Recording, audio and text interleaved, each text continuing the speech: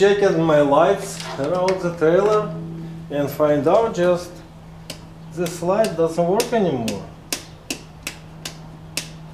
So what happened?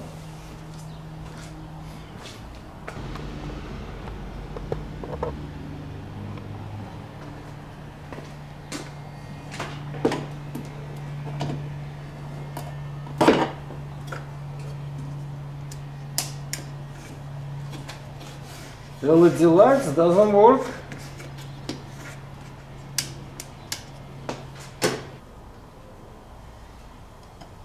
Huh? So yes, switch doesn't work.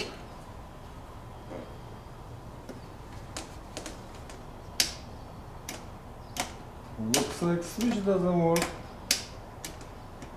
Okay. Let's see what I can do.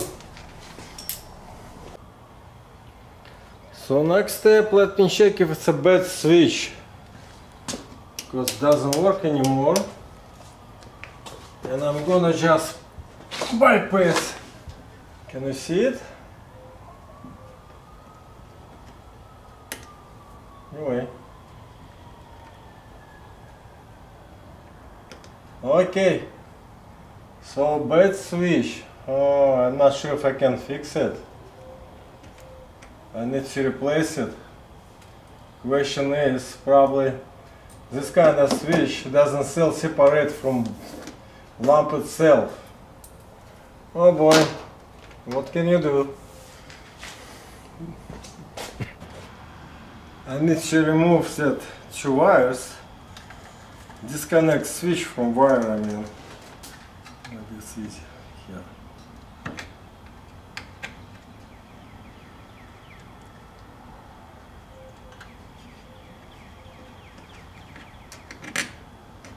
Okay.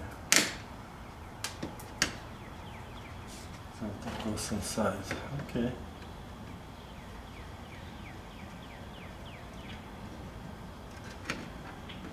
Okay. Right.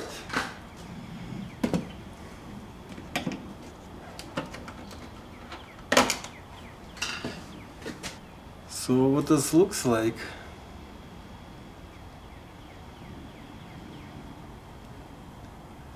And I don't know if I can find it replacement. To take it apart, it's... I don't think it's a fixable inside. I'll take a look anyway. I have no choice. Now I'm gonna check this switch with uh, my digital multimeter one end to another end so this point it should be when I switch 1 or 0 or close to 0 so 1 switch it still 1 1 1 it's mean broken chain. Yeah I was right. Something wrong with switch. So I was able to fix it. I use electronic cleaner and put it upside down, spray inside a little bit and magic happens. Now if I'm gonna connect, uh, it's very inconvenient. So turn it on, off, off, on, off. So that's it, problem solved. Now we're gonna put it back together.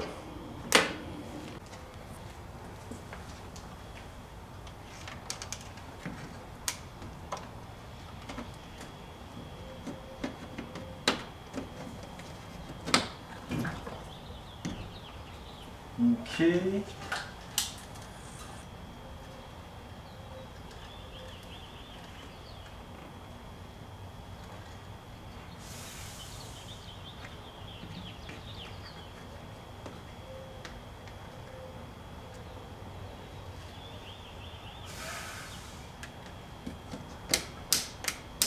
Fix it.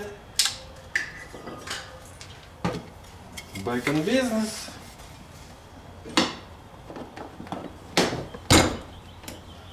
Nice. Problem solved.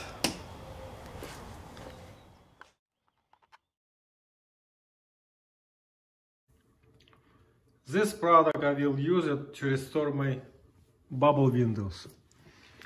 Step number one, to use rubbing compound. Step two, to use any of this. They both work great.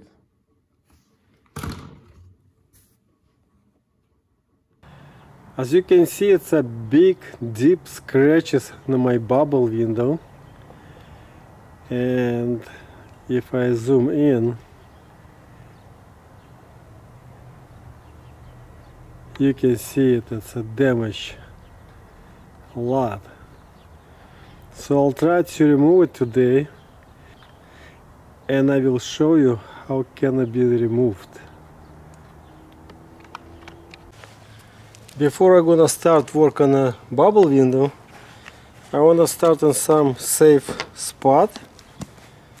If I'm gonna scrub, it won't be too much damage, so I'm gonna just start on this corner. It's probably too much. But anyway.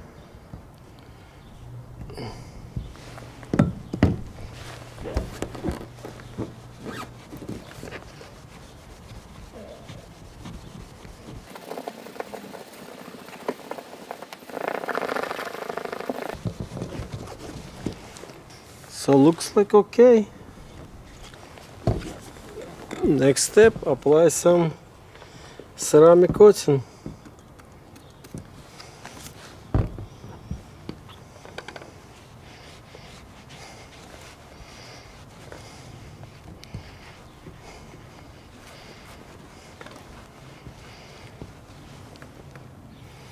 I think I'm done perfect job.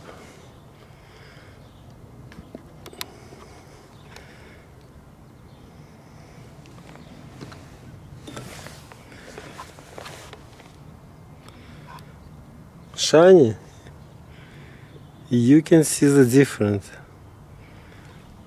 Okay. Now let's start on, on my scratches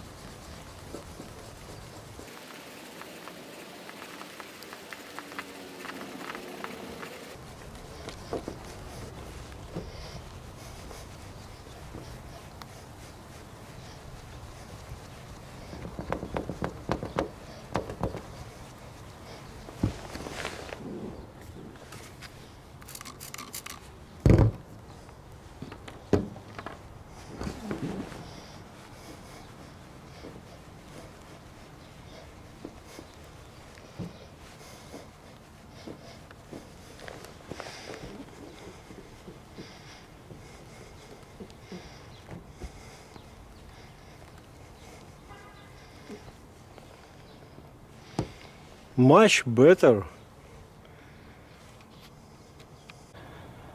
So you already watched me how it can be done manually but it could take forever. I mean not forever but maybe a couple hours three hours to do it. One two and three.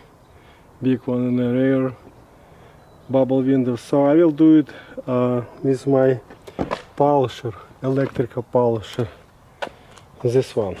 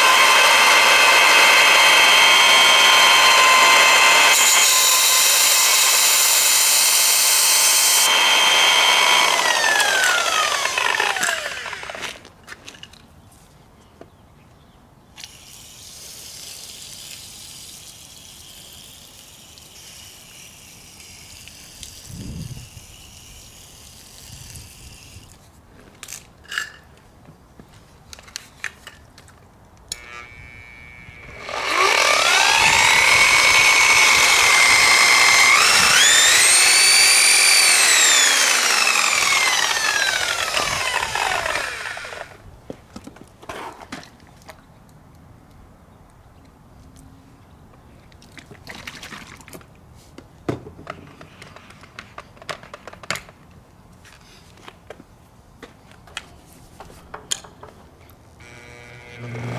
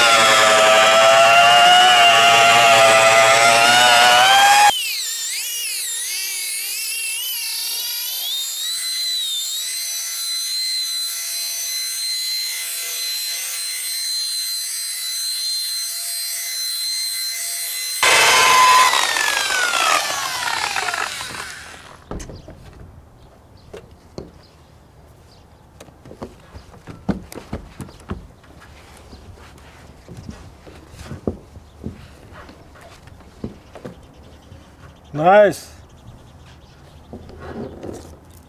Fast and nice and clean, shiny. Looks like I done good job.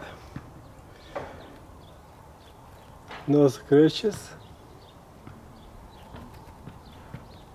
So shiny compared to this bubble window. It's dull. Same is rear one. So now I'm gonna work on the rest of the trailer. Now this side is done too. And I spent like a five minutes to compare these two products. And it's really hard to say, but I think this one is win. Is a winner. Why? Because it's left less strikes and more wet looks gives to plastic. So for plastic, I guess, for bubble windows, this product is much better. But again, they are both works great. Big bubble windows done too. So I guess enough maintenance, cleaning and preparation. I would say let's do next video, real camping video. See you in couple weeks.